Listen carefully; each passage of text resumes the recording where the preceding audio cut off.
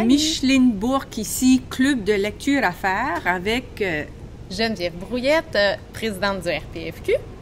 Alors Geneviève, premièrement, merci encore une fois d'avoir invité le Club de lecture à participer à votre réunion euh, générale annuelle, votre assemblée générale annuelle. L'année passée, on avait fait une petite boîte aux livres et on avait proposé quatre ouvrages.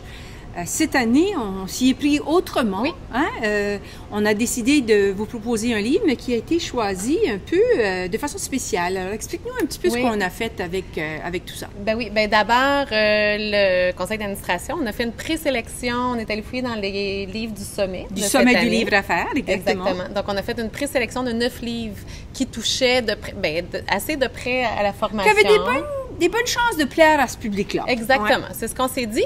Et là, on a lancé un sondage sur notre communauté de pratique et en fait, ce sont les membres qui ont voté. Pour lui. Et celui-là, c'est un livre qui s'appelle Egoman. Et en fait, au niveau du sommet du livre à faire, c'est la pomme dans le sac d'orange. C'est le seul roman euh, du sommet.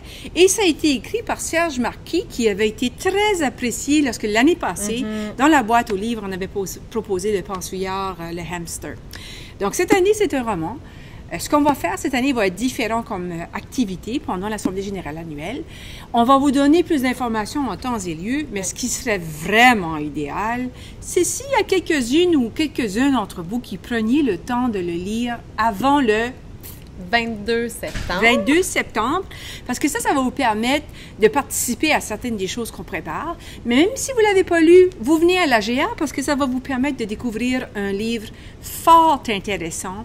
Euh, d'ailleurs, de toutes les entrevues du sommet, celle que j'ai faite avec M. Serge Marquis, Dr. Serge Marquis, a été une des plus... Euh, des plus extraordinaires pour moi personnellement. C'est un homme absolument charmant, euh, d'une sensibilité extraordinaire.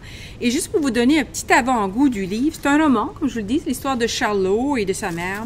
Et dans la note de l'auteur, moi tout de suite, là, j'avais un petit peu de réserve, là, parce que je disais, ah, bon, un médecin qui écrit un livre, on va, voir. Un Mais juste. Qui écrit un roman. Un roman, oui, un roman.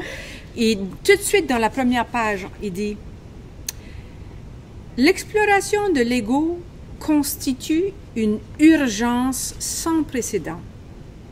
Et là, il ajoute, il n'y aurait pas de conflit s'il n'y avait pas d'ego. Donc, moi, je ne suis pas psychologue, je ne suis pas étudiée dans ce domaine-là, mais en regard de notre société aujourd'hui, j'ai trouvé que le message était fort puissant. Et l'histoire de Charlot est une histoire qui va vous captiver, c'est extrêmement bien écrit. Et je vous invite vraiment, et si vous faites le choix de le lire avant, j'inviterai les gens à communiquer avec moi, Book at Gmail, parce qu'on va se parler puis on va se préparer pour une merveilleuse AGA avec le réseau euh, des professionnels de la formation du Québec.